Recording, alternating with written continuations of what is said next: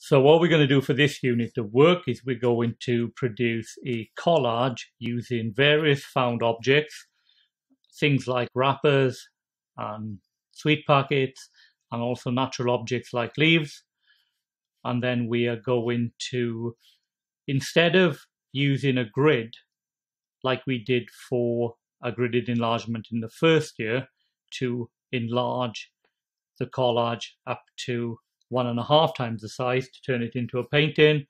We're going to use these points of references as our enlargement technique. And then we're going to produce a painting from our collage. Now, to go about producing this piece of work, you will have been asked to bring in various items, about 10 wrappers and about three or four leaves in order to work on the collage and produce something successful for a painting. Perhaps the main thing to mention is that whatever it is you decide to stick down, you are going to ultimately have to paint. So you need to think carefully what it is you bring in to produce your collage. So there's two groups of objects I want you to bring in. First of all, I want you to bring in two animal silhouettes which are going to be produced on half a page of A4 each. And then you go and choose which one you want to use for the collage. And then secondly, you were going to bring in around 8 to 10 natural objects, 3 or 4 leaves. So you can see this candidate here has got his objects ready to go. He's cut them out. So he's going to make the process more straightforward when it comes to arranging those objects and creating the collage.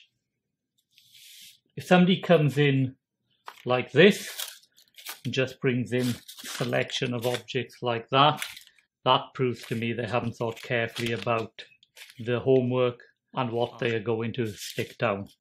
What I'm going to do is I'll use this as point of reference. So for example, if we look at these examples of items is lots of fine writing and ingredients and barcodes here, quite small lettering, which you wouldn't want to include. So this is the type of thing which could have been done at home. So I'm going to just take part of this. I think I'll add that to that. That's crumpled, that's no good. That seems to have a lot of repetitive detail, so I don't want to use that.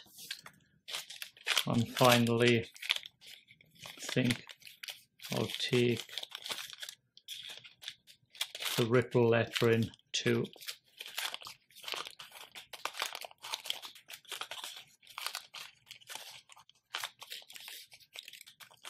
too. I'll add that to these objects. So we've got all our objects ready to stick down.